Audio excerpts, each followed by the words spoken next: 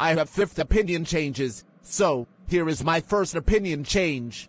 I'm starting to lose interest on SpongeBob SquarePants. Why? Because Patrick Star's gonna rock smashing with SpongeBob SquarePants for many times, and Patrick needs to go to sleep yet. Here is my second opinion change.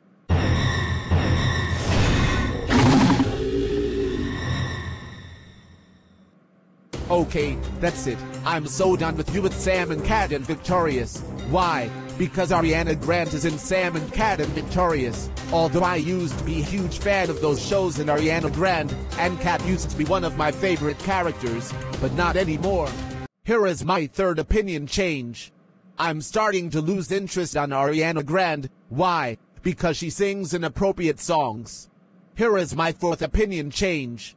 I'm starting to hate the emoji movie. Why? Because the emojis messes up Alex's phone by going on some apps.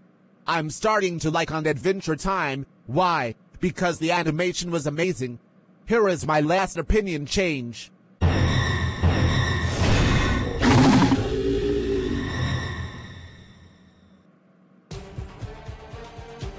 I now hate Ya Boy the Slacker. Why? He said the N word three times.